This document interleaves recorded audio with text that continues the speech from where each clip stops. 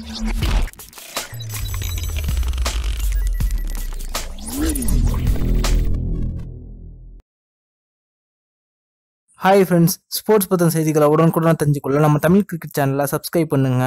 இந்த ஆண்டுக்கான ஐபிஎல் சீசன்ல பதினோராவது ஆட்டத்தில் பார்த்தீங்க அப்படின்னா எஸ்ஆர்ஹெச் மற்றும் ஆர்சிபி இந்த இரண்டு அணிகள் வந்து மோதினாங்க. இதுல முதல்ல பேட்டிங் செஞ்ச சன்ரைஸ் ஹைதராபாத் அணி பார்த்தீங்க அப்படின்னா இருபது ஓவர் முடிவில் இரண்டு விக்கெட் மட்டுமே இருபது ஓவர் முடிவில் இரண்டு விக்கெட்டுகளை மட்டுமே இழந்து இருநூத்தி முப்பத்தி ஓரு ரன்களை வந்து அடிச்சிட்டாங்க. இதுல அந்த அணியின் தொடக்க ஆட்டக்காரர்களான ஜானி பேஸ்டோ மற்றும் டேவிட் வார்னர் இவங்க இரண்டு பேருமே வந்து சதம் அடிச்சு அசத்தி இருந்தாங்க இதுல ஜானி பேஸ்டோ நூத்தி பதினாலு ரன்களும் டேவிட் வார்னர் நூறு ரன்கள் வந்து அடிச்சிருந்தாங்க.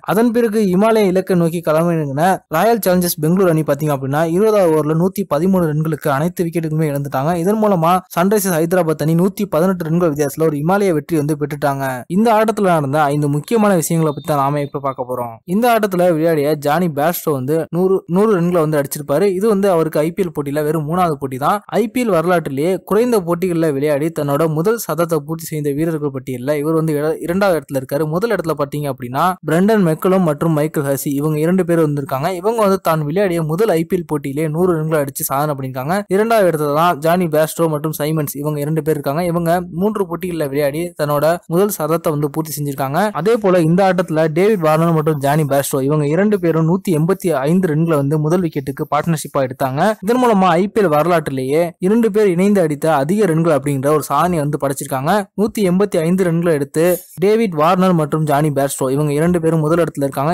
அதே போல இந்த போட்டியில சன்ரைஸ் ஹைதராபாத் அணியோட வீரர்களான டேவிட் வார்னர் மற்றும் ஜானி பேஸ்டோ இவங்க இரண்டு பேரும் வந்து அண்டர் அடிச்சிருக்காங்க. டி டுவெண்டி கிரிக்கெட் வரலாற்றிலேயே ஒரு டீம்ல இரண்டு பிளேயர்ஸ் வந்து நூறு ரன்களை கடப்பது இது வந்து மூணாவது முறையாகும். முதல் முதல்ல பாத்தீங்க அப்படின்னா கெவினோ பிரைட் மற்றும் மார்ஷல் இவங்க இரண்டு பேரும் இணைந்து வந்து இரண்டாயிரத்தி பதினொன்றாம் ஆண்டு நூறு ரன்கள் அடிச்சிருக்காங்க.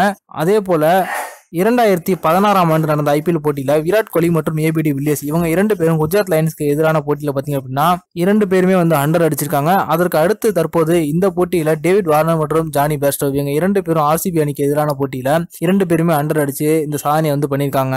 இந்த போட்டியில ஆர்சிபி அணியோட கேப்டன் விராட் கோலி வந்து சந்தீப் சர்மா பால்ல வந்து அவுட் ஆகிருக்காரு இதன் மூலமா சந்தீப் சர்மாவோட பால்ல ஆறு முறை ஐபிஎல் போட்டியில வந்து அவுட் ஆகியிருக்காரு சந்தீப் சர்மா விராட் கோலியை அவுட் ஆக்குனது மூலமா ஐபிஎல் வரலாற்றிலேயே விராட் கோலியை அதிக முறை அவுட் ஆக்குன வீரரோட பட்டியலில் வந்து முதல் இடத்துல நெக்ராவோட வந்து இணைஞ்சிருக்காரு. நெக்ராவும் விராட் கோலியை இதுவரைக்கும் ஐபிஎல் வரலாற்றுல ஐபிஎல் வரலாற்றுல ஆறு முறை வந்து அவுட் ஆகியிருக்காரு அடுத்ததா பாத்தீங்க அப்படின்னா இந்த போட்டியில ஆர்சிபி அணி தோத்தன் மூலமா ஐபிஎல் வரலாற்றிலே தன்னோட மோசமான இரண்டாவது தோல்வியை வந்து பதிவாகி இருக்கு முதல் இடத்துல பாத்தீங்க அப்படின்னா இவங்க வந்து கேகேஆருக்கு எதிரான போட்டியில இரண்டாயிரத்தி ஏழாம் ஆண்டு நூத்தி நாற்பது ரன்கள் வித்தியாசத்துல வந்து தோத்துருக்காங்க. அதுதான் இவங்களோட மோசமான தோல்வியா இருக்கு. இரண்டாவது இடத்துல இந்த ஆட்டத்துல நூத்தி பதினெட்டு ரன்கள் வித்தியாசத்துல தோத்து ஒரு மோசமான சாதனையை பண்ணிருக்காங்க இந்த வீடியோ உங்களுக்கு பிடிச்சிருந்துச்சுன்னா லைக் பண்ணுங்க ஷேர் பண்ணுங்க. பண்ணுங்கள் நன்றி.